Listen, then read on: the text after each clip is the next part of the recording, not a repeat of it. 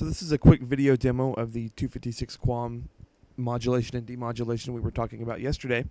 I'm generating using the same VI as yesterday. I'm using the 5673 for generation at a center frequency of 1 gigahertz, power level of negative 5 dBm. We're doing 256 QAM and our symbol rate is 1 megahertz. We're doing a pseudo-random bit sequence. Uh, you can see the modulated bit stream down here. If I go over to the demodulation VI, we can take a look at our constellation plot here. You can see we're finding all 256 points. We're doing this on a 5663 with a carrier frequency of 1 gigahertz. Same reference level and same demodulation settings, of course. If we go over to the measurements, you'll see that we have a uh, an RMS EVM value of 0.18%. Uh, and then a peak value of approximately 0.8% for our EVM.